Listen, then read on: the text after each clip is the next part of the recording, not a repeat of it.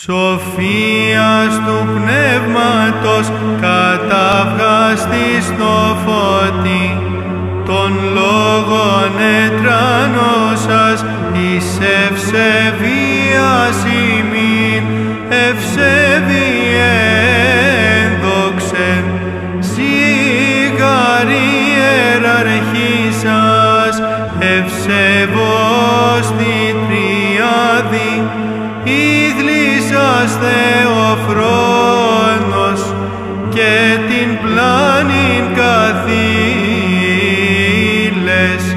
και νυν Πάτερ δισοπίσον σώζεστε